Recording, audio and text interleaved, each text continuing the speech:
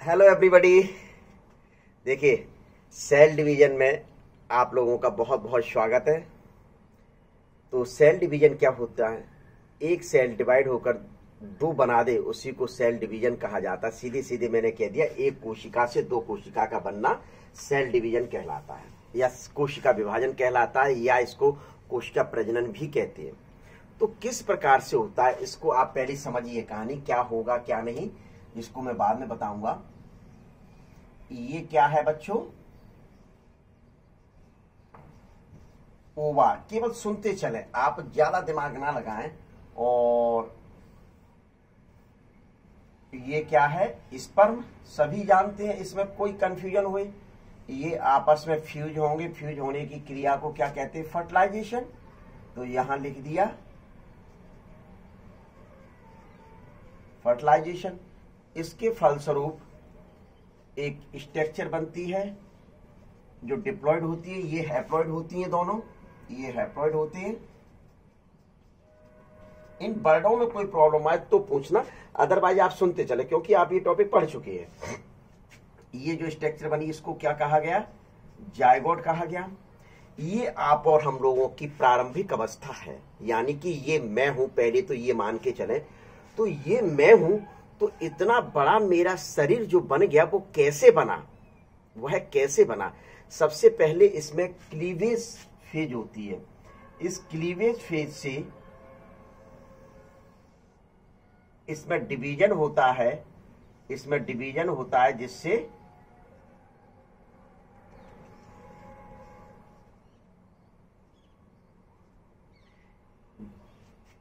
एक से दो दो से चार चार से आठ आठ से सोलह। इस प्रकार से डिवीज़न होता रहता है। तो ये फ़ेज़ कौन सी? क्लीवेज।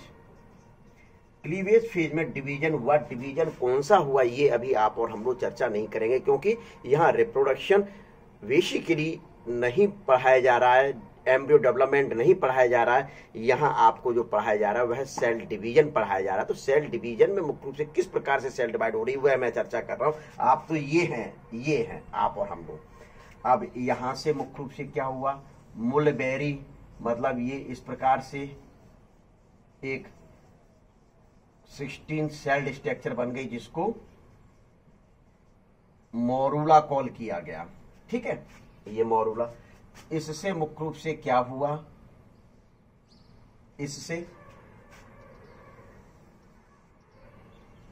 ये अरेंज हो गया। ये ब्लास्टुला ब्लास्टुला बन गया। दो लेयर में अरेंज हुआ था, ठीक है? फिर इससे ये थ्री लेयर ये लो। एक्टोडर्म, मेजोडर्म और एंडोडर्म। ये तीन लेयर बनती हैं। इन तीन लेयर से अपना डेवलपमेंट होता है। इन तीन लेयर से मुख्य रूप से अपना डेवलपमेंट होता है। ये डिप्लोब्लास्टिक है और यहाँ ये ट्रिप्लोब्लास्टिक फ़ेज़ बन गई। ये ब्लास्टुला ये इस फ़ेज़ को क्या कहते हैं? ग्लास्टुला इससे पूरे शरीर के विभिन्न अंगों का निर्माण होता है एक्टोडर्म मीजोडर्म और एंडोडर्म से। तो शरीर कैसा बन जाता है? देख लीजिए। यहाँ बता दू मैं? यहाँ सभी बना के इधर बताता हूँ, चलिए। ये जैसे कोई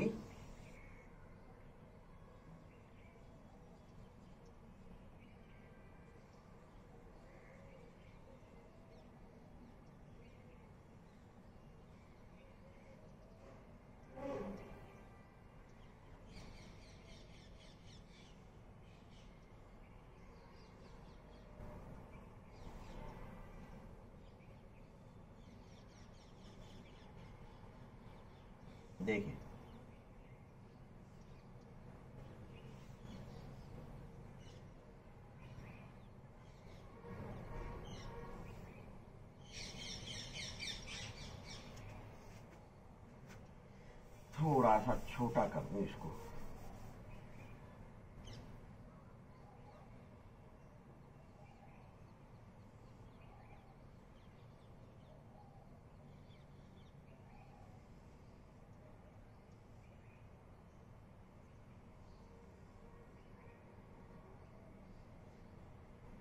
ठीक है चलिए ये आपने अपनी बॉडी बना दी इससे ये बॉडी बनी इस एक्टोडर्म मीडियोडर्म एंडोडर्म और गैस्ट्रोला के फलस्वरूप ये मुख्य रूप से बॉडी बनती है? क्लियर अब इस बॉडी में मुख्य रूप से मैं बता दूँ, ये जो डिवीज़न पाया जाता है, सेल डिवीज़न पाया जाता है, पूरी बॉडी, होल बॉडी की सेल्स, यानी अपना जो सिंगल सेल स्ट्रक्चर से जो बॉडी बनी, वह मल्टी सेलुलर थी, वह मल्टी सेलुलर बॉडी का निर्माण हुआ। ये बनाने का तात्पर्य ये था मल्टी सेलुलर बॉडी का निर्माण हुआ। इस मल्टी सेलुलर में मुख्य रूप से, यानी बहुत सारी सेल थी, इन सभी सेल्स में मुख्य रूप से सोमेटिक सेल्स थी, जिसमें माइटोसिस डिवीज़न होता है। यहाँ जो हुआ था माइटोसिस अब आ गया चर्चा में माइटोसिस डिवीज़न कौन सा माइटोसिस डिवीज़न यानी इनकी जो सेल्स थी, वह टू एन थी, यानी डिप्लॉइड थी। तो सभी सेल्स जो बनेंगी नेचर में, वो डिप्लॉइड बनेंगी। इस वजह से इसको माइटोसिस या समसूत्री विभाजन कहा गया। जैसी सेल थी, वैसी की वैसी क्रोमोसोम संख्या वाली सेल का बनना क्या कहलाता है माइटोसिस कहलाता है। तो वही समसूत्री सेल पूरी बॉडी में सिर्फ़ दो भागों को छोड़कर। कौन कौन से भाग थे? ये टेस्टिस और यदि मेल है तो ये डायग्राम मेल का इमेजिनेट करेंगे तो और यदि फीमेल का इमेजिनेट करते हैं फीमेल का इमेजिनेट करते हैं तो ये क्या है? ओवरी है। यदि फीमेल का करते विशेष ध्यान रखना, एक ही बॉडी ऑर्गन में मैंने बनाए इस वजह से दो डायग्राम बनाने पड़ते। यदि मेल का इमेजिनेट करते तो ये टेस्टी जब फीमेल का इमेजिनेट करते तो ये ओवरी है। इसमें जो डिवीज़न पाया जाता है। इसमें जो डिवीज़न होगा, वह डिवीज़न मुख्य रूप से कौन सा होगा? म्योसिस के फलस्वरूप म्योसिस के फलस्वरूप मुख्य रूप से सेक्स सेल बनती है, जो ये थी। ओवा फीमेल के द्वारा बनेगी फीमेल ओवरी में, और स्पर्म जो बनता है, वह टेस्टीज में बनता है मेल में बनता है। तो स्वाभाविक है कि मुख्य रूप से यह कहा गया कि माइटोसिस और मियोसिस म्योसिस डिवीज़न के फलस्वरूप क्रोमोसोम हाफ़ हो गए रिडक्टिव हो गए, यानी कि कम हो गए। क्या हो गए कम हो गए इस वजह से इसको अर्धसूत्री विभाजन और इसके द्वारा पूरी बॉडी में सिर्फ़ इन पार्टों को छोड़ दिया जाए तो पूरी बॉडी में माइटोसिस डिवीज़न होता है। ये क्या होगा? कैसे होता? ये डिटेल में आगे आपके आएगा। मेरा तात्पर्य था कि डिवीज़न के फलस्वरूप जब एक कोशिका से दो कोशिकाएँ बने, एक कोशिका से दो कोशिका बने तो उसको मुख्य रूप से क्या कहा जाता है? सेल डिवीज़न या सेल रिप्रोडक्शन के नाम से जाना जाता है। पहली बात तो ये हुई आपके दिमाग में क्लियर दूसरी बात, ये डिवीज़न अपनी बॉडी में मुख्य रूप से कितने प्रकार का होता है? ये डिवीज़न अपनी बॉडी में कितने प्रकार का होता है? वो तीन प्रकार का होता है। नंबर एक, लेवाइल डिवीज़न होता है। कौन सा डिवीज़न होता है? लेवाइल डिवीज़न होता है। इस डिवीज़न में मुख्य रूप से जो सेल्स होती हैं, वह सेल्स जल्दी जल्दी, वह सेल्स जल्दी जल्दी डिवाइड होती हैं। कैसी होती जल्दी जल्दी मुख्य रूप से डिवाइड होती हैं। क्या हुई? डिवाइड हुई। तो कौन सी सेल्स अपनी बॉडी में ऐसी होती है जो मुख्य रूप से जल्दी जल्दी डिवाइड होती हैं? वो कौन सी सेल्स होती है? तो देखिए स्किन की सेल्स होती हैं क्योंकि स्किन अपनी रफ होती है मतलब स्किन निकलती रहती है। स्किन निकलती रहती है तो यहाँ स्किन पुनः बननी है। तो वो बनेगी कैसे? जब डिवीज़न होगा तो इस वजह से मुख्य रूप से लेवल यहाँ सेल्स जल्दी जल्दी डिवाइड होती है स्किन में है। हाँ, दूसरा मुख्य रूप से बता सकते हैं। Intestinal tract. क्या? इंटेस्टाइनल ट्रैक्ट बता सकते हैं। यानी गैस्ट्रिक इंटेस्टाइनल ट्रैक्ट, यदि पूरा लिखना चाहते हैं तो आप यहाँ जी और बना दीजिए। गैस्ट्रिक इंटेस्टाइनल ट्रैक्ट मुख्य रूप से बता सकते हैं। तीसरा मुख्य रूप से बताया जाता है, बोन मेरो।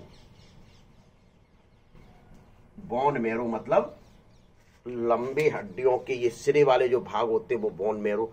तो उनमें मुख्य रूप से क्यों? क्योंकि आरबीसी का निर्माण किया जाता है। वहाँ किसका निर्माण किया जाता है? आरबीसी का निर्माण किया जाता है। इस वजह से मुख्य रूप से ये जो सेल्स होती है, मुख्य रूप से लगातार डिवाइड होती रहती है। तो पहले नंबर का कौन सा हुआ? लेबाइल डिवीज़न हुआ। आप ध्यान बस ये रखिए सेल जल्दी जल्दी डिवाइड होती है और ये आपको एग्ज़ाम्पल ध्यान में रखना है, ठीक है? फिर दूसरा मुख्य रूप से आता है। कौन सा टाइप्स होता है? दूसरा होता है स्टेबल। इसमें सामान्यतः डिवीज़न नहीं पाया जाता। सामान्यतः डिवीज़न नहीं पाया जाता। विशेष ध्यान रखिए प्रिंट आउट में कर रहा हूँ। आवश्यकता होने पर, आवश्यकता होने पर सेल डिवाइड होती हैं। इसका पहले स्क्रीनशॉट ले लीजिए आप लोग। ले लिया स्क्रीनशॉट देखिए तो इसमें मुख्य रूप सामान्यतः डिवीज़न नहीं होता है। आवश्यकता होने पर, आवश्यकता होने पर सेल डिवाइड होती है। ये विशेष ध्यान रखना है। आवश्यकता होने पर सेल डिवाइड होती है, ये ध्यान में रखना। अब इस प्रकार की बॉडी में अपने कौन कौन से ऑर्गन है, जिनमें मुख्य रूप से या टिश्यू है, जो आवश्यकता पड़ने पर उनकी सेल डिवाइड होती है तो सीधे सीधे ध्यान रख लीजिए, जो अपनी बॉडी में डैमेज होते विषैले पदार्थों से या एल्कोहल से तो लिवर है किडनी है और पैंक्रिएटिक ग्लैंड है। तो कौन कौन से? एग्ज़ाम्पल दे सकते हैं आप। लिवर सेल्स किडनी सेल्स जैसे नेफ्रॉन होती हैं और आपके पैंक्रिएटिक सेल क्लियर ये एग्ज़ाम्पल दे सकती हैं। फिर तीसरे नंबर का जो टाइप्स आता है वह मुख्य रूप से है परमानेंट दिखाई दे रहा है बच्चों परमानेंट परमानेंट में मुख्य रूप से क्या बताया जाता है? सुनिए कहानी परमानेंट की।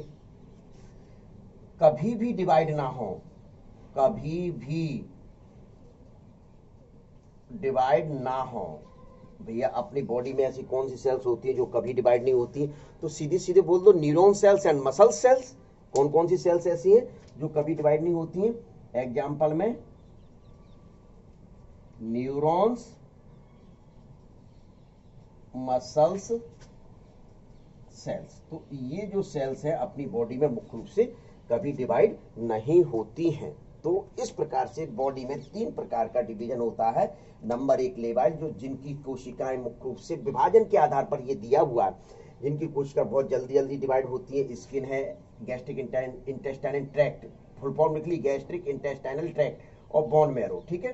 फिर स्टेबल में मतलब सामान्यतः डिवीज़न नहीं पाया जाता, आवश्यकता पड़ने पर।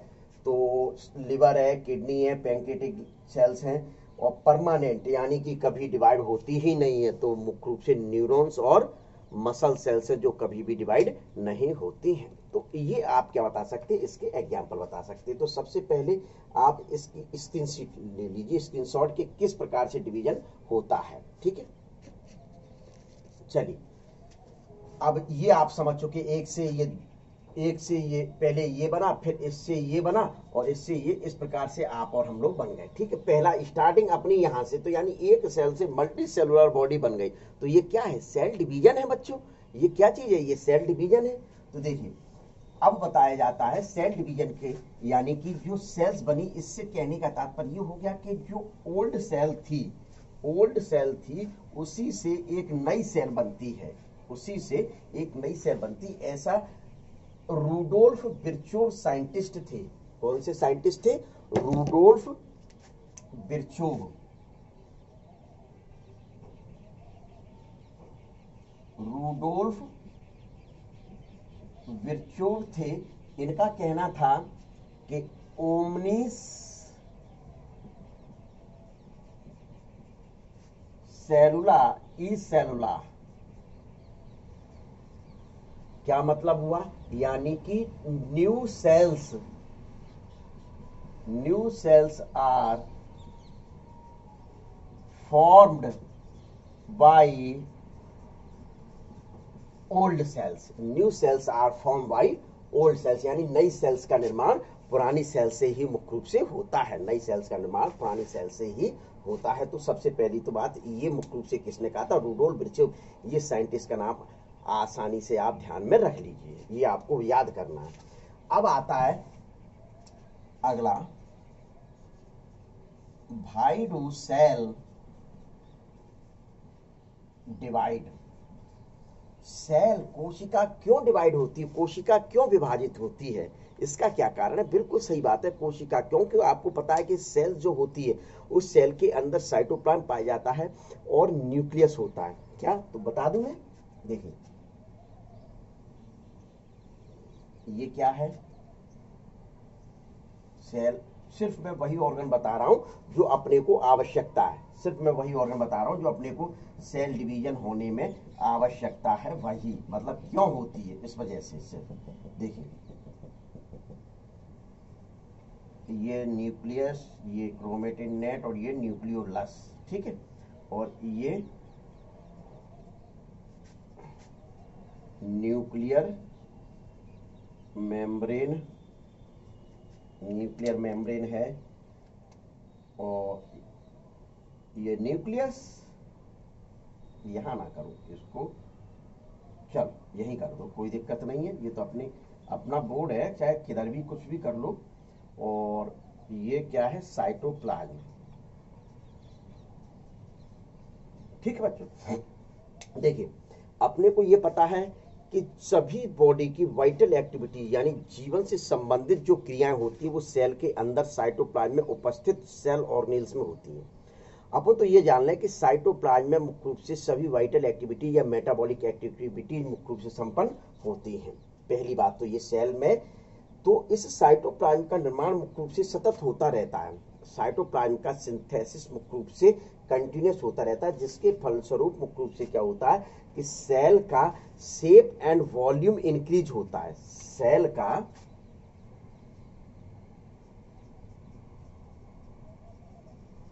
शेप एंड वॉल्यूम इंक्रीज हुआ। क्या हुआ? शेप एंड वॉल्यूम इंक्रीज अपन तो ये सीधे सीधे कहते हैं कि साइज़ में सेल बड़ी होती है। साइज़ में सेल कैसी होती है? बड़ी होती है। किसके फलस्वरूप? जब साइटोप्लाज्म का सिंथेसिस होता है, क्या होता है? साइटोप्लाज्म का सिंथेसिस होता है तो उस दौरान सेल का शेप एंड वॉल्यूम बड़ा बढ़ता है इंक्रीज होता है तो अपन सीधे सीधे कह देते हैं सेल का साइज़ बढ़ रहा है। तो जब ये मुख्य रूप से साइटोप्लाज्म बढ़ रहा है तो उस दौरान क्या होता है? देखिए, मैं अलग से कलर लेके बना रहा हूँ कि ये साइटोप्लाज्म बढ़ गया। ये साइटोप्लाज्म का निर्माण हो रहा है तो मुख्य रूप से सेल का शेप वॉल्यूम बढ़ता जा रहा है, यानी कि ये प्लाज्मा मेम्ब्रेन एक निश्चित सीमा तक मुख्य रूप से फैलती जा रही है। फैलती जा रही है कि नहीं फैल रही है? एक लेकिन निश्चित सीमा के बाद इसका फैलना बंद हो जाता है तो उस दौरान मुख्य रूप से प्लाज्मा मेम्ब्रेन का जो आकार है प्लाज्मा मेम्ब्रेन का मुख्य रूप से सरफेस एरिया जिस बोला जाए, ये प्लाज्मा मेम्ब्रेन है। प्लाज्मा मेम्ब्रेन का सरफेस एरिया नहीं बढ़ता। क्लियर इसका निर्माण सतत हो रहा है। एक सीमा तक तो मुख्य रूप से फैलती जाती लेकिन एक सीमा के बाद मुख्य रूप से इसका सरफेस एरिया बढ़ना बंद हो जाता है। फॉर एग्ज़ाम्पल बैलून लीजिए, उसमें हवा भरते जाइए, फैलता जाएगा फैलता जाएगा, क्या आप बैलून बार बार भरते जाएँगे? और हवा भरते जाएँगे, यदि हवा भरोगे तो फट जाएगा। तो यह सेल वास्तव में एक तरीके से फटती है, लेकिन वहाँ फटना नहीं कहते, वहाँ डिवीज़न कहते क्योंकि एक से दो का निर्माण हो रहा है। एक कोशिका से दो का निर्माण हो रहा है। तो सबसे पहला पॉइंट तो मुख्य रूप से ये बताया जाएगा आपके द्वारा क्लियर समझ में आया? कि सेल में साइटोप्लाज्म का निर्माण सतत होता रहता है, जिसके फलस्वरूप सेल शेप और वॉल्यूम में इंक्रीज होती यानी साइज़ बढ़ जाता है। लेकिन मुख्य रूप से वॉल्यूम इसका बढ़ता चला जाता है साइटोप्लाज्म का सिंथेसिस होता जा रहा है। तो उस स्थिति में प्लाज्मा मेम्ब्रेन का सरफेस एरिया उतना नहीं बढ़ता है, जिसके कारण भी सेल डिवाइड होती है, पहली चीज़। दूसरी चीज़ बताया जाता है कि अभी बताया था कि साइटोप्लाज्म में वाइटल एक्टिविटीज़ क्रिएट होती है जिनको मेटाबॉलिक एक्टिविटी कहते हैं। इनका जो नियंत्रण किया जाता है, वो नियंत्रण केंद्र मुख्य रूप से कौन से होते हैं? आपके ये न्यूक्लियस होते हैं। कौन होते? हैं न्यूक्लियस होते हैं। यानी कि साइटोप्लाज्म में जो भी वाइटल एक्टिविटीज़ हो रही है, उनके मुख्य रूप से कंट्रोलर पावर मुख्य रूप से किसके पास रहते हैं? न्यूक्लियस के पास रहते हैं। यानी मैं ये कह सकता हूँ कि इस न्यूक्लियस के पास और इस साइटोप्लाज्म के बीच में कुछ ना कुछ संबंध है। भाई, आप मेरा नियंत्रण कर रहे हैं। भाई ये थोड़ी सड़क पर चलने वाला कोई नियंत्रण कर जाएगा। भाई, मेरे माँ बाप मेरा नियंत्रण करेंगे। तो यानी कि कंट्रोल पावर उनके हाथ में तो स्वाभाविक है, इस सेल के अंदर जो न्यूक्लियस पाया जाता है, वही इसका नियंत्रण कर पाएगा। तो इनके बीच में कोई ना कोई रिलेशनशिप है, कोई ना कोई संबंध पाया जा रहा है तो मुख्य रूप से यहाँ इस संबंध को मुख्य रूप से जो पाया जाता है इनके बीच में, उसको क्या कहा जाता है? Nucleoplasmic index nucleoplasmic index कहते हैं। किसके बीच में? साइटोप्लाज्म और न्यूक्लियस के बीच में पाए जाने वाले संबंध को न्यूक्लियो प्लाज्मिक इंडेक्स कह दिया यानी न्यूक्लियस और प्लाज्मा के बीच में पाया जा रहा है। इसको मुख्य रूप से एक और कहा जाता है, कर्ण, प्लाज्म कनेक्शन इसको क्या कहा जाता है? कर्ण, प्लाज्म कनेक्शन कहा जाता है। भाई, ये संबंध जब तक अच्छा चल रहा है, तब तक तो मुख्य रूप से सेल चलती जा रही है। लेकिन जैसे ये सेल का संबंध मतलब इनका ये जो संबंध है, ये संबंध डिस्टर्ब हुआ, वैसे मुख्य रूप से इस न्यूक्लियस की नियंत्रण शक्ति कमज़ोर पड़ जाती है, जिसके कारण सेल डिवाइड होने लगती है। कैसे कमज़ोर पड़ती है? भाई, साइटोप्लाज्म का निर्माण हो रहा है। साइटोप्लाज्म का मुख्य रूप से क्या हो रहा है? निर्माण हो रहा है, जिसके फलस्वरूप मुख्य रूप से सेल का सेप इंक्रीज हो रहा है। ये देखिए, पहले मैं बता चुका हूँ, सेल का सेप इंक्रीज हो रहा है। लेकिन उसकी तुलना में मुख्य रूप से ये जो न्यूक्लियस होता है न्यूक्लियस का सेप इंक्रीज नहीं होता है। न्यूक्लियस का सेल का शेप इंक्रीज हो रहा है, लेकिन उसकी तुलना में न्यूक्लियस का शेप इंक्रीज नहीं होता तो इनके बीच में जो कनेक्शन पाया जा रहा है न्यूक्लियोप्लाज्मिक इंडेक्स और कर्णप्लाज्म जो कनेक्शन पाया जा रहा है, वह कनेक्शन मुख्य रूप से डिस्टर्ब हो जाता है विस्थापित हो जाता है। जैसे विस्थापित हुआ तो इस न्यूक्लियस की न्यूक्लियस की नियंत्रण शक्ति खत्म हुई। जब न्यूक्लियस की नियंत्रण शक्ति मुख्य रूप से समाप्त होती है या कम होती है तो वैसे ही मुख्य रूप से क्या होता है कि सीधे सीधे कह दिया जाता है कि ये सेल डिवाइड होने लगी। तो ये आपका आंसर है भाई डू सेल डिवाइड सेल क्यों विभाजित होती है? तो सबसे पहला तो ये जान लीजिए, इसका ले लीजिए स्क्रीनशॉट ले लिया? चलिए, यानी कि दो रीजन आपके बता दिए ठीक है? अब आता है आपका मेन चर्चा पर अपन शामिल होने आते हैं। अब आइए आपकी मेन चर्चा, यानी सेल साइकिल भाई सेल साइकिल क्या होती है? Series of events during cell divide series of देखिए।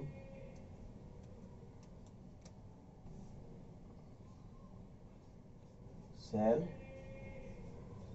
cycle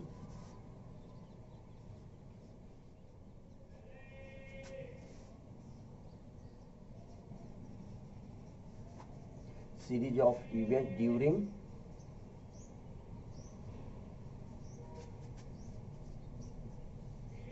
cell division लिख दो या सेल डिवाइड लिख दो, एक ही बात है, चलो कोई दिक्कत नहीं है। ठीक है? तो सेल डिवीज़न के दौरान मुख्य रूप से जो एक इवेंट्स पाए जाते हैं, उसी को मुख्य रूप से क्या कहा जाता है? सेल साइकिल कहा जाता है। तो इसके लिए मुख्य रूप से कौन कौन से इवेंट्स होते हैं? तो उन इवेंट्स पर सबसे पहले चर्चा आप और हम लोग करेंगे। देखिए दो टाइप्स की इवेंट्स होते हैं। ये देख लीजिए सबसे पहला जो इवेंट्स है, जिसको इंटरफेज कहा जाता है। इंटरफेज कहा जाता है, यानी बीच की अवस्था, या इसको प्रिपरेशन फ़ेज़ आप क्वेश्चंस कर सकते हैं, इसके नाम ये क्यों दिए गए हैं। या इसको तैयारी वाली अवस्था कहा जाता है। बिल्कुल ये, यही नाम है इसके, कोई समस्या नहीं है। इसके जो है, ये वाला जो है एक्चुअल फ़ेज़ है ये। कौन सी फ़ेज़ है बच्चों? एक्चुअल फ़ेज़ है, या इसको एम फ़ेज़ कहा जाता है। एम फ़ेज़ एम का यहाँ मतलब मैं आपको बता देता हूँ कि इसमें वास्तविक तौर पर इसमें ही डिवीज़न होता है, इसमें डिवीज़न नहीं होता है। पहली चीज़ आप ये ध्यान रख ले ह्यूमन बॉडी में जो सेल्स पाई जाती है, वह है ट्वेंटी फोर आवर का टाइमिंग लगता है उसमें। कितना टाइमिंग लगता है? ट्वेंटी फोर आवर का टाइमिंग लगता है।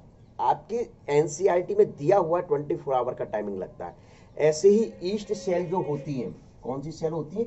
ईस्ट सेल जो होती है, उस ईस्ट सेल में 90 मिनट का टाइम लगता है। विशेष तौर पर आप नोट कर लीजिए ये दोनों बातें। ह्यूमन बॉडी की सेल्स में 24 आवर का टाइम लगता है और ईस्ट सेल में मुख्य रूप से जो ईस्ट सेल है, उसमें 90 मिनट का टाइमिंग लगता है। पहली बात तो ये नोट कर लीजिए तो ये जो दो फ़ेज़ बताई एम फ़ेज़ एम फ़ेज़ का एक एम का मतलब यहाँ है माइटोसिस डिवीज़न और दूसरी एम का मतलब है म्योसिस डिवीज़न यानी कि आपके पास दो प्रकार के डिवीज़न आ गए। एक माइटोसिस ये समसूत्री वाहन कहलाता है, ये अर्धसूत्री विभाजन कहलाता है। इसमें मुख्य रूप से कोशिका विभाजित होकर क्रोमोसोम की संख्या में पेरेंट्स जैसी होती है। यानी कि सेल जिससे बन रही है, नई सेल का निर्माण जिससे हो रहा है तो यानी पुरानी सेल्स को पेरेंटल सेल्स कहते हैं और नई सेल्स को डॉटर सेल्स कहा जाता है। ये ध्यान में रख लीजिए ठीक है तो दो प्रकार का डिवीज़न हो गया। यानी इसमें डिप्लॉयड से डिप्लॉयड सेल्स बनती है, यानी टू एन से टू एन का निर्माण होगा और इसमें टू एन से एन का निर्माण होगा जिससे ध्यान रखें, ये है डिप्लॉयड से हैप्लॉयड सेल्स का फॉर्मेशन होता है। ये यहाँ एम का दो मतलब पढ़ना है आपको, पहली बात। अब देखिए मैं मतलब बता रहा हूँ, जैसे कि ये, इसमें जो टाइमिंग जो लगती है, इसमें वन आवर्स लगता है और इसमें मुख्य रूप से जो टाइमिंग लगती है, वह ट्वेंटी थ्री आवर्स लगा। यानी कि ये कहा, कह दिया जाए, नब्बे परसेंट टाइमिंग मुख्य रूप से इसमें स्पेंड हो रही है और टेन परसेंट टाइमिंग लगभग ट्वेंटी भी कह सकते हैं टेन परसेंट टाइमिंग मुख्य रूप से इसमें स्पेंड हो रही। इसका क्या तात्पर्य हुआ? भाई, इसका क्या तात्पर्य हुआ कि मुख्य रूप से आप नौता खाने जाते हैं जाते हैं। नौता खाने भैया घर में बैठे हुए कि चलो कार्ड देखा एड्रेस देखा कि चल देते हैं कि सब की सब, चलो पंपरेल अब वहाँ गेट पे पहुँचे कौन कौन कौन? भागो भागो भागो, हमारे यहाँ इस प्रकार के कोई लोग नहीं है। यानी ऐसे कपड़े पहने हैं, भाई, चल दिए, बाल बिखरे थे सब कुछ। भाई, आप नौता जाने से पहले, आप नौता जाने से पहले क्या कार्य करते हैं? नौता जाने से पहले आप अपने आप को संभालते हैं भाई। बहुत अच्छे कपड़े पहनते हैं। बहुत बढ़िया। और महिलाएँ लिपस्टिक लिपस्टिक लगा लोगों के बिल्कुल तैयार होकर चल देते हैं। तो स्वाभाविक है, यानी आप तैयार हुए। आ गई बात तैयार। तो वही चीज़ लिखा है प्रिपरेशन फ़ेज़ यानी तैयारी वाली अवस्था। प्रिपरेशन फ़ेज़ यानी तैयारी वाली अवस्था मुख्य रूप से ये इस वजह से कहलाती है। और तैयार होने में बहुत अधिक समय लगता है। फिर तो गाड़ी पे बैठे, वहाँ खाए जितना खाने और जाने में समय लगता है, उसमें उससे ज़्यादा तैयारी वाली नहीं समय लगता है। तो वही समय यहाँ ट्वेंटी थ्री आवर्स जो लगता है, वो इस फ़ेज़ में मुख्य रूप से लगता है, ये आपको होना चाहिए। एम फ़ेज़ फिर तो क्या कोशिका विभाजन होनी है?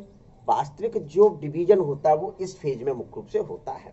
आप देखिए, ये जो इंटरफेज फ़ेज़ होती है, ये इंटरफेज मुख्य रूप से इसको भी तीन भागों में डिवाइड किया गया है। जीवन फ़ेज़ एस फ़ेज़ और जी टू फ़ेज़। ये जी का मतलब है ग्रोथ फ़ेज़ यानी प्रथम वृद्धि अवस्था, यानी कि उस सेल्स में जब डिवीज़न होना है, उससे पहले जितने भी सेल्स ऑर्गेनल्स होते हैं या जितने भी भाग होते हैं, वो पहले डबल हो जाते हैं। भाई, तभी तो मुख्य रूप से विभाजित हो पाएगी, ऐसा थोड़ी कि एक को बीच में चाकू लेकर काट दो तो भैया डबल डबल भाग हो गए। अंगों का भी तो डबल होना पड़ेगा। तो सेल के अंदर जो भी सेल्स ऑर्गेनिल्स पाए जाते हैं, वो सबसे पहले डिवाइड होते हैं, या जो भी मॉलिक्यूल्स पाए जाते हैं, वो मुख्य रूप से डबल होते हैं, ये विशेष तौर पर ध्यान में रखना। तो वह कहलाती प्रथम वृद्धि अवस्था। दूसरी एस फ़ेज़ इसमें मुख्य रूप से जो क्रोमोसोम्स पाए जाते हैं, उस क्रोमोसोम में क्या होते हैं? क्रोमोसोम्स डबल कभी विशेष, ध्यान रखें 46 क्रोमोसोम को लेकर आप और हम लोग चल रहे हैं अपनी बॉडी में 46 क्रोमोसोम पाए जाते हैं। तो 46 के डबल मुख्य रूप से 92 हो जाते हैं। कितने हो जाते हैं? 92 मुख्य रूप से होते हैं। लेकिन यहाँ 92 नहीं हो रहा वह डिवीज़न के बाद होगा। वह एम फ़ेज़ आएगी जब बताया जाएगा। यहाँ तो सिर्फ़ सिंथेसिस फ़ेज़ में क्या होता है कि जो क्रोमोसोम पाया जाता है, उसका जो डीएनए पार्ट होता है, यानी डीएनए प्लस हिस्टोन प्रोटीन यही क्रोमोसोम्स कहलाते हैं। तो डीएनए जो भाग होता है, वह डीएनए भाग मुख्य रूप से डबल होता है। क्या होता है? डीएनए भाग मुख्य रूप से डबल होता है तो उसको कह दिया सिंथेसिस अभी मैं डायग्राम बना के बताऊँगा, अभी तो मैं यहाँ बता रहा हूँ। जी टू इसमें भी मुख्य रूप से कुछ सेल्स ऑर्गेनिल्स और प्रोटीन्स का फॉर्मेशन होता है। तो इस प्रकार से आपको दो फ़ेज़ पढ़नी इंटरफेज और एक्चुअल डिवीज़न जो होता है एक्चुअल फ़ेज़ या एक्चुअल फ़ेज़ की जगह यहाँ आप और हम लोग एक्चुअल डिवीज़न डिवीज़न लिखूं तो ज़्यादा अच्छा लगेगा। एक्चुअल फ़ेज़ से मतलब डिवीज़न देखिए, अब इसको आप पहले स्क्रीन शॉट ले लीजिए, फिर उसके बाद आप और हम लोग चर्चा करेंगे डायग्राम के माध्यम से। भाई सेल साइकिल है तो सेल साइकिल में series of events during cell division तो ये इवेंट्स आपके सेल डिवीज़न के दौरान मुख्य रूप से चलेंगे, ठीक है? अब कौन कौन से, कैसे कैसे चलते हैं, उनमें क्या क्या होता है, उसको अब आप और हम लोग डायग्राम के द्वारा बता रहे हैं। देखिए, सबसे पहले मतलब ये भाई साइकिल चलनी है। क्या चलनी है? साइकिल चलनी है। ये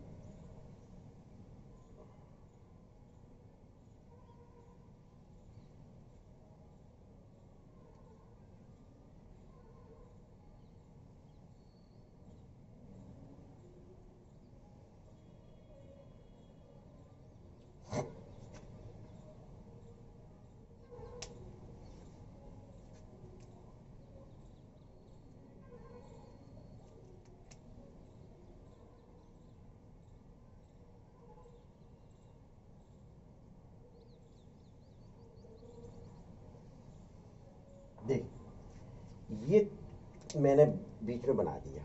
अब आपको ये ध्यान रखना, यहाँ से यहाँ तक का जो है, ये और ये ये एम फ़ेज़ है, ये आपका जीवन फ़ेज़ है, और ये आपका एस फ़ेज़ है, और ये आपका जी टू फ़ेज़ है। क्या फ़ेज़ है? जी टू फ़ेज़ है। क्लियर? पहली बात तो आप ये अच्छी तरह से ध्यान में रख लीजिए, ठीक है? तो ये कैसे मुख्य रूप से बताया जाता है? या कैसे? देखिए, इसमें जो है, अभी मैंने क्या बताया कि टाइमिंग अधिक लगती है। इस वाली फ़ेज़ में जी वन एस और जी टू में टाइमिंग अधिक लगती है। टोटल सेल साइकिल का टोटल सेल साइकिल में ट्वेंटी फोर आवर का टाइमिंग लग रही है। कितना लग रही है? ट्वेंटी फोर आवर की टाइमिंग लग रही है। यानी कि ये कहा जाए फोर्टी टू फिफ्टी परसेंट जो टाइम है, वह जीवन कवर करती है। जीवन में टोटल सेल साइकिल का 40 से 50 प्रतिशत टाइमिंग स्पेंड होता है। क्लियर? पहली बात तो ये ध्यान रख लीजिए। दूसरी मुख्य रूप से बताया जाता है, इसमें जो होता है, वह 30 टू 40 परसेंट टाइम स्पेंड होता है एस फ़ेज़ में। फिर आता है G two phase. G two phase में मुख्य रूप से बताया जाता है कि 10 टू 20 परसेंट टाइमिंग स्पेंड होती तो इस प्रकार से बताया जाता है कि सीधे सीधे मुख्य रूप से अधिक समय सेल साइकिल का जीवन में होता है उससे कम एस में और उससे कम मुख्य रूप से जी में होता। है तो ये तीनों जो अवस्था है, देखिए, इसको आपने इंटरफेज क्यों कहा? इंटरफेज क्यों कहा? क्योंकि मुख्य रूप से वास्तविक जो डिवीज़न होना है डीएनए डबल होने हैं, वह मुख्य रूप से इसके बीच की ये इन दोनों के बीच की ये एस फ़ेज़ है। तो इस वजह से बीच के को क्या कह देते? इंटरफेज क्या कह देते? इंटरफेज कह दिया जाता है। तो ये मुख्य रूप से आपकी, अब इसमें एक एक आपको पढ़ना है। जीवन पढ़ना है, फिर एस पढ़ना है, फिर जी टू पढ़ना है। क्या पढ़ना है? जी टू पढ़ना है। इस प्रकार से करना है। तो सबसे पहले आप और हम लोग जीवन पर चर्चा करते हैं। ठीक है?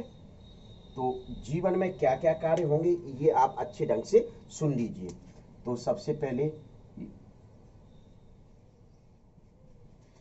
प्रोटीन सिंथेसिस का कार्य मुख्य रूप से कहा होता है? जीवन में होता है। प्रोटीन सिंथेसिस का कार्य कहा होता है? जीवन में होता है। पहली बात, ये दूसरा मुख्य रूप से बताया जाता है। Most of cell organelles replicate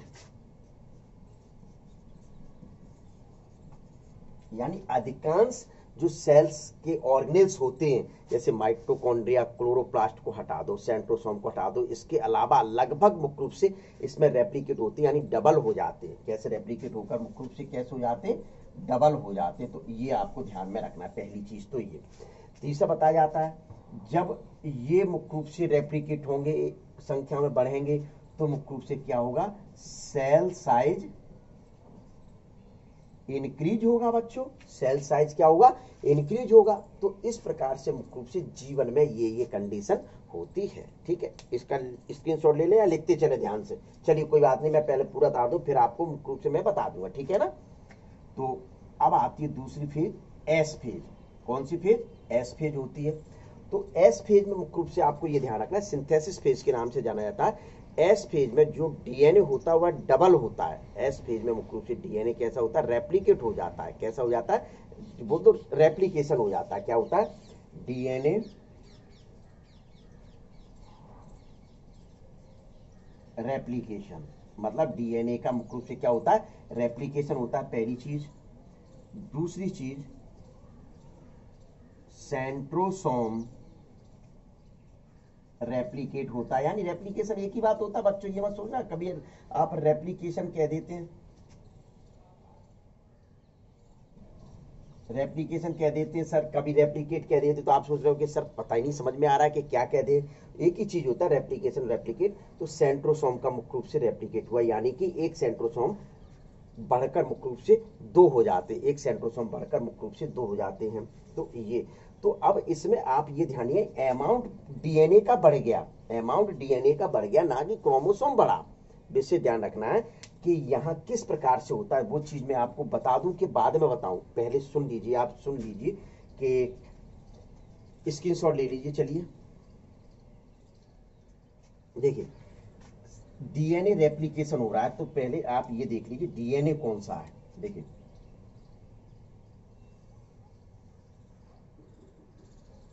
ये है।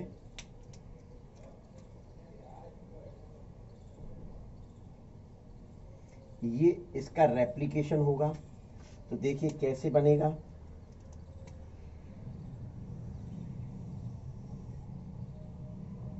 ये क्या है? सेंट्रोमियर है। सभी को ये तो जानकारी होगी।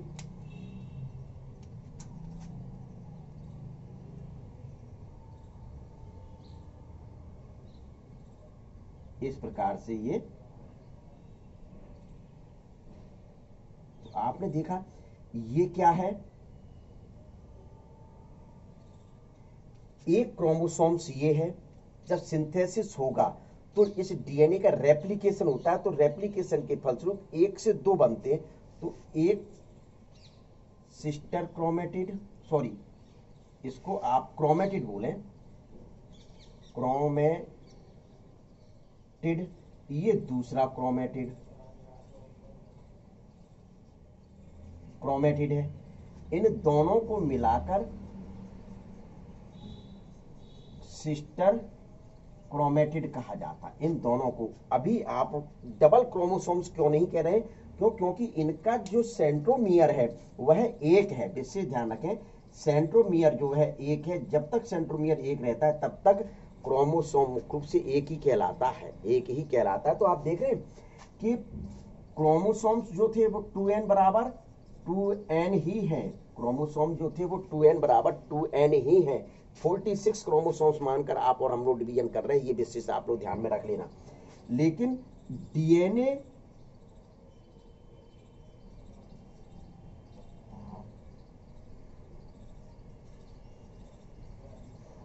अमाउंट डबल हो गया। डीएनए अमाउंट कैसा हो गया बच्चों? डबल हो गया डीएनए, यानी कि डीएनए कंटेंट ये देखिए, दूसरी भाषा में लिख दीजिए। डीएनए कंटेंट डबल हो गया। तो पहले डीएनए कंटेंट कितना था? टू सी था। तो ये आपकी एनसीआरटी में लिखा हुआ है clear after interphase after interphase मुख्य रूप से वो है, कितना हो गया? फोर सी मुख्य रूप से डीएनए अमाउंट कंटेंट हो जाता है। क्या डीएनए कंटेंट कैसा हो गया? टू सी से फोर सी हो जाता है, यानी कि सीधी सीधे डबल हो जाता है। तो ये मुख्य रूप से आती है आपकी कौन सी? जीवन फ़ेज़, दूसरी फ़ेज़ कौन सी? S phase. इसी प्रकार से सेंट्रोसोम की सुन लीजिए कि सेंट्रोसोम किस प्रकार से रेप्लिकेट होता है डबल होता है। देखिए। ये कोई सेंट्रोसोम है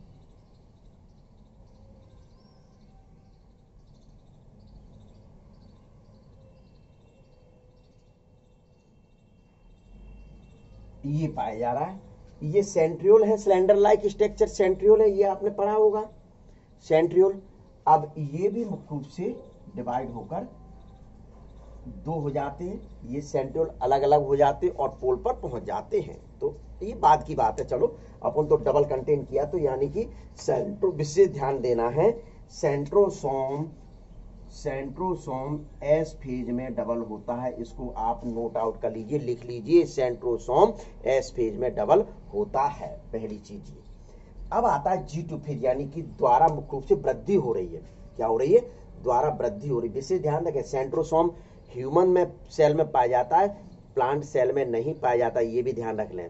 सेंट्रोसोम ह्यूमन सेल्स में, यानी जंतु एनिमल सेल्स में पाया जाता है प्लांट सेल्स में मुख्य रूप से नहीं पाया जाता। अब आते हैं, इसको मैं डाल दें ले लीजिए, इसका ये बना रहेगा, इसका स्क्रीन शॉट लेते चलिए।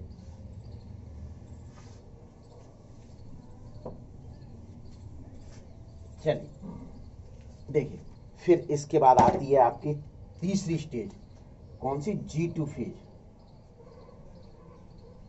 भैया जी टू फ़ेज़ क्या होती है? प्रोटीन सिंथेसिस कर दीजिए, उसमें भी हुआ था तो इसमें भी प्रोटीन सिंथेसिस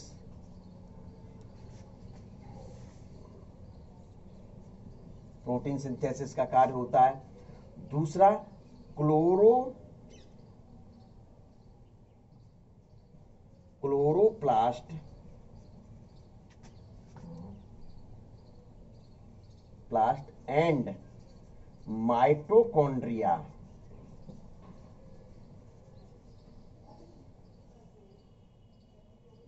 replication होता है और डबल हो जाते हैं। क्या हो जाते हैं? डबल। देखिए विशेष ध्यान रखें। ये जो मैं कहना चाह रहा हूँ कि मोस्ट सेल्स ऑर्गेनेल्स डबल किस पार्ट में हुए थे? जीवन में। लेकिन सेंट्रोसोम डबल अपने कहा किया? एस में किया। अब ये क्लोरोप्लास्ट और माइटोकॉन्ड्रिया को डबल कहाँ कर रहे हैं? जी टू फ़ेज़ में कहा डबल कर रहे हैं? जी टू फ़ेज़ में मुख्य रूप से आप डबल कर रहे हैं। तो सबसे पहली बात तो ये एक आपकी एनसीआरटी में मुख्य रूप से एक फ़ेज़ दी हुई है। जिस फ़ेज़ को मैं यहाँ जी नॉट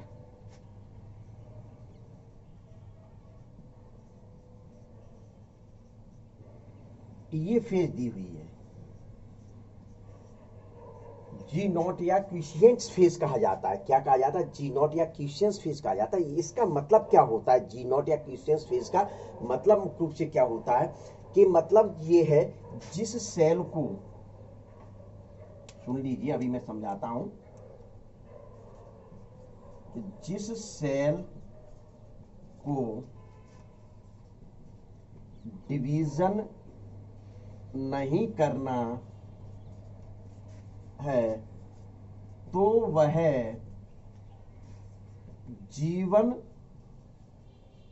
फ़ेज़ से हटकर इनएक्टिव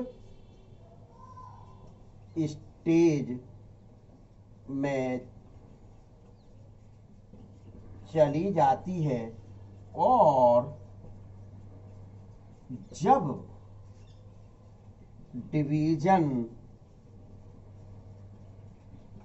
करना होता है तो वह सेल पुनः जीवन फ़ेज़ में एंटर कर सेल साइकिल पूरी ले लीजिए अब स्क्रीन शॉट। बिल्कुल बहुत बढ़िया फ़ोटो खींच तो लीजिए जल्दी से जल्दी। देखिए, क्या होता, आप और हम लोग इस पर चर्चा कर रहे थे। सामान्यतः जीवन फ़ेज़ है एस फ़ेज़ है जी टू फ़ेज़ है, और किसी बुक्स में जी नोट पर चर्चा ही नहीं है। तो आपकी एनसीईआरटी में क्लियर लिखा हुआ जी नोट के बारे में, जिस सेल को डिवीज़न नहीं करना होता, देखिए, यहाँ से जीवन हुई ग्रोथ हुई, धीरे धीरे धीरे धीरे धीरे धीरे धीरे सेल्स आई। यहाँ से मतलब ये सेल चल रही डिवाइड होकर ये, इस प्रकार से आकार बढ़ा, फिर ये हुआ, फिर ये हुआ आकार बढ़ता जा रहा है। क्या ऐसे? ये यहाँ आकार बढ़ गया। अब यहाँ से ये डिवाइड होगी तो डिवाइड होकर यानी दो बनेंगे। चलिए, अब एक सेल्स ये बन गई और एक सेल्स ये बन गई। अब पुनः भी ये थोड़ी कि एक ही बार सेल डिवीज़न एक सेल्स में होता है। अब जो सेल्स बनी उनमें डिवीज़न होगा। सपोज़ दैट के मुख्य रूप से इस सेल्स को डिवाइड नहीं होना है। इस सेल्स को डिवाइड नहीं होना है। तो ये सेल्स इसी जीवन स्टेज से हट जाती है और इन एक्टिव स्टेज में आ जाती है। किस स्टेज में आ जाती है? इन एक्टिव स्टेज में।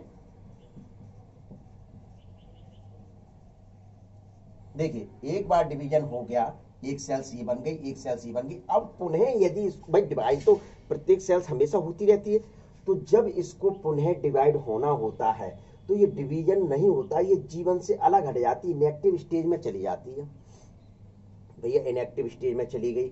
अब लेकिन कब तक डली रहेगी इनएक्टिव स्टेज में? नहीं तो इसका अस्तित्व समाप्त हो जाएगा। तो यदि अब पुनः उसको सेल डिवाइड करना है, यानी कि सेल डिवीज़न करना है तो ये सेल्स पुनः मुख्य रूप से जीवन स्टेज में एंटर करती है और द्वारा से साइकिल चलाती है। तो इस प्रकार से मुख्य रूप से आपके क्या इसी को कहा जाता है? क्यूशियंट फ़ेज़ या जी नॉट फ़ेज़ के नाम से जाना जाता है। तो इसकी आप ले लीजिए स्क्रीनशॉट देखिए, एक बार फिर से मैं रिवाइज करा दूँ। भैया, सुनते चलो। सेल डिवीज़न में क्या होता है? एक सेल एक सेल दो बन गई। इसको सेल डिवीज़न कह दिया। आप तो ऐसे याद कर लो। इसमें मुख्य रूप से सेल डिवाइड क्यों होती है?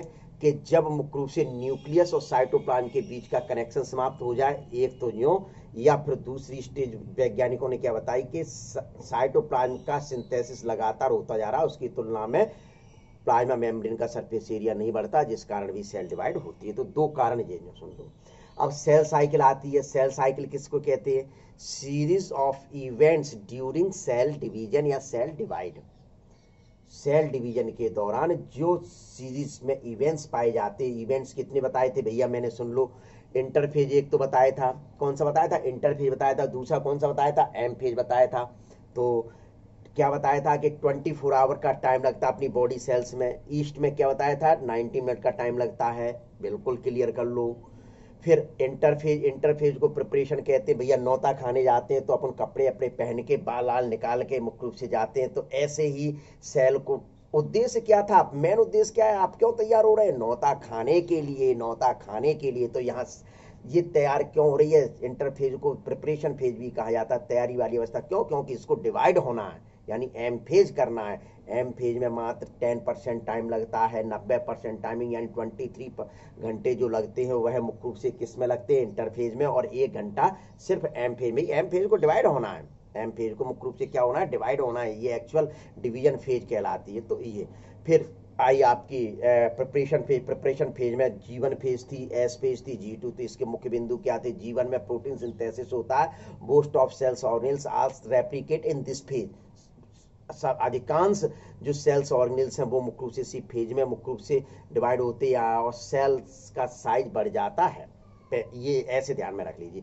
फिर आता है एस एस में मुख्य रूप से एक ध्यान में रख लीजिए के टू सी बराबर फोर सी, यानी कि डीएनए कंटेंट डबल होता है, क्रोमोसोम की नंबर में परिवर्तन नहीं होता है। क्रोमोसोम की संख्या में परिवर्तन नहीं, two N into two N ही रहता है, टू एन बराबर टू एन ही रहता है।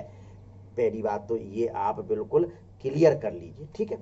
तो ये, अब आता है G two phase G two phase में भी मुख्य रूप से क्या होता है कि प्रोटीन सिंथेसिस होता है। हाँ इसमें एस फ़ेज़ में एक चीज़ और ध्यान रखना है सेंट्रोसोम का निर्माण होता है सेंट्रोसोम का निर्माण एस फ़ेज़ में होता है सेंट्रोसोम का निर्माण एस फ़ेज़ में होता है सेंट्रोसोम का निर्माण एस फ़ेज़ में होता है। ऐसे रट डालो, आप धोखे से भी जीवन और जी टू में मत कर देना। फिर आता है कि G two phase G two phase में मुख्य रूप से क्या बताया गया था? प्रोटीन का सिंथेसिस होता है और जो माइटोकॉन्ड्रिया और क्लोरोप्लास्ट जो सेल्स ऑर्गेल्स है, उनका डबल यानी उनका रेप्लीकेशन इसी फ़ेज़ में मुख्य रूप से होता है। तो ऐसे आपको याद करना हो गया याद क्या भेद लग रहे थे? तुम भी यार मतलब और फिर आया जी नॉट या जी क्यूशियन मतलब जिस सेल्स को यहाँ से डिवाइड होती चलिए आकार बढ़ता चला जा रहा है, ये सेल्स एक होकर, भाई, यहाँ से डिवीज़न होना तो यहाँ से एक होकर दो भागों बटी, एक सेल्स तो लगातार डिवाइड हो रही, एक सेल्स ये कह रही है, भैया, मैं डिवाइड नहीं होना चाह रही, मेरी हिम्मत टूट चुकी अब मेरे पर डिवीज़न नहीं हो रहा, मैं कब तक तैयारी हूँ? कब बार बार तैयार होना पड़ता है तो वो मुख्य रूप से जीवन फ़ेज़ से अलग हो जाती है लो, अब मुझे तैयार नहीं होना है।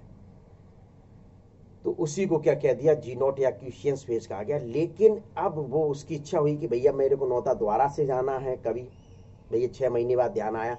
तो उस दौरान मुख्य रूप से वह सेल फिर से तैयार होने लगती, यानी जीवन स्टेज में एंट्री कर जाती, जिसके दौरान मुख्य रूप से वह डिवाइड होने लगती है। एक चीज़ मुख्य रूप से आपको ये। अब आती एम फ़ेज़ इसको मैं डाल दू। पहले तो इसका स्क्रीन ले लीजिए। देखिए। बिल्कुल सिंपल है, कुछ है ही नहीं है। भैया, मैं तो ये कहता हूँ, अब अपन आते हैं एम फ़ेज़ पर। तो देखिए, ये एम फ़ेज़ लिखा हुआ है आपका।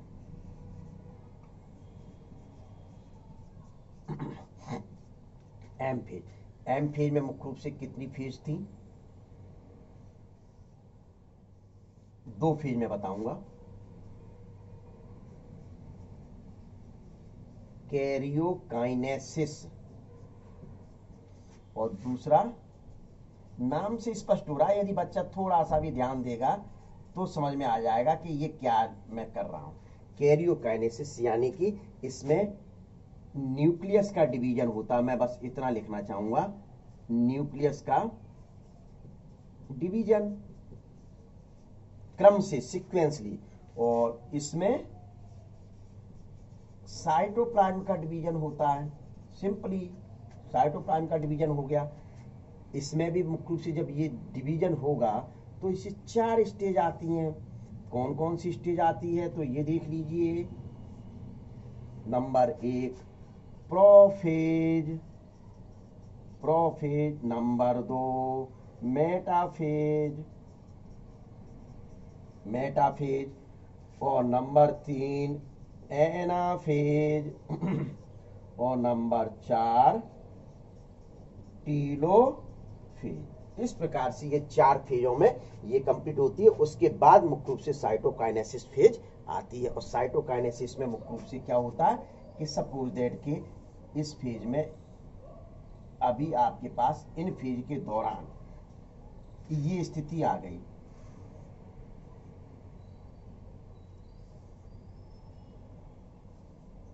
ये स्थिति आ गई। अब सेल डिवाइड होना मतलब ये साइटोप्लाज्म है, ये भरा हुआ ये। अब इस सेल्स का साइटोप्लाज्म डिवाइड होना है तो कैसा होता है? प्लांट में मुख्य रूप से सेल प्लेट के द्वारा होता है, उसको मैं आगे जब मैं डिवीज़न पढ़ाऊँगा, तब बताऊँगा। सेल प्लेट के द्वारा मुख्य रूप से होता है सेल प्लेट का निर्माण होता है, वो सेल प्लेट कैसे निर्मित होती चलिए देख लीजिए, यही आप ये कहोगे, सर। देखिए, इस प्रकार से पहले प्लेट बनती है। रेगमोसाइट्स कहा जाता है इन प्लेट्स को ये तो इस प्रकार से ये इस साइड बढ़ती है, ये ऐसे ये ऐसे। तो इनको क्या कहा जाता है फ्रेगमोसाइट्स ठीक है? फिर ये ऐसे बन गई, ये सेल डिवाइड हो गई। प्लांट में सेल पेट के निर्माण के दौरान होता है, जबकि एनिमल्स में मुख्य रूप से होता है, वह फोरो के द्वारा होता है। किस प्रकार से? ये सेल्स है, ये सेल्स है, यहाँ से इस प्रकार से ये अंदर की ओर जाती है इसकी प्लाज्मा उसकी क्यों नहीं? क्योंकि वहाँ सेल वेल है, वो सेल्स वाल पाई जाती वो कैसी होती है सेल वाल हार्ड होती है तो ये अंदर की साइड ऐसे, ये ऐसे, यानी ये इधर और ये इधर, इस प्रकार से मुख्य रूप से। ये ऐसे और ये ऐसे, यो, इसमें यो हो रहा है, बाहर की साइड में। और इसमें अंदर की साइड में डिवीज़न। तो ये सेल फोरो द्वारा फोरो के निर्माण के फलस्वरूप और ये सेल प्लेट के निर्माण के फलस्वरूप मुख्य रूप से साइटोकाइनेसिस होती है। तो इतना आपको कायम पढ़ना है। इस सेल साइकिल में पढ़ना है। तो देखिए तो क्या टाइमिंग लगा? बिल्कुल डिवीज़न हो गया। ये प्रोफेज है। देखिए फ़र्स्ट फ़ेज़ प्रोफेज बिल्कुल क्रम से। ये मेटाफेज ये एनाफेज ये टीलोफेज और ये साइटो काइनेसिस और यहाँ से यहाँ तक की जो फ़ेज़ है, ये पूरी ये जो नीली नीली में कर रहा हूँ, ये मुख्य रूप से कैरियोकाइनेसिस, इसमें न्यूक्लियस का डिवीज़न हो रहा है। ले लीजिए स्क्रीनशॉट बहुत हो गया यार। अब तो मुख्य रूप से सहन नहीं होता है मेरे पर। इतना मतलब करा दिया। अब आप कहाँ तक नहीं कर पाओगे बच्चों? एक भी क्वेश्चन रहना नहीं चाहिए। जिससे ध्यान रख लीजिए। मेरा कहना नहीं, अभी पूछ डालो जो भी करना है। ठीक है? तो ये देख लीजिए। ले लीजिए स्क्रीनशॉट अब यहाँ बात कर ले। अभी मैंने शुरुआत बताया था एम फिर दो टाइप का होता है। एम मतलब माइटोसिस एम मतलब मियोसिस ठीक है? तो यानी कि सेल डिवीज़न दो टाइप्स का हो गया। माइटोसिस और मियोसिस एक और मैं बाद में पढ़ाऊँगा सबसे। ए माइटोसिस वो थोड़ा सा है, कहीं कुछ नहीं है, वो बता दिया जाएगा, ठीक है? तो ले लीजिए इसका स्क्रीनशॉट ले लीजिए।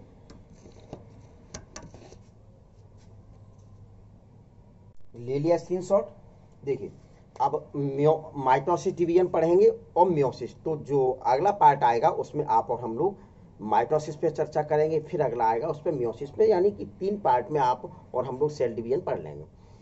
मैं ये कहना चाह रहा हूँ कि माइटोसिस में भी वही फ़ेज़ पहले इंटरफेज आएँगी, फिर एम फ़ेज़ आएँगी।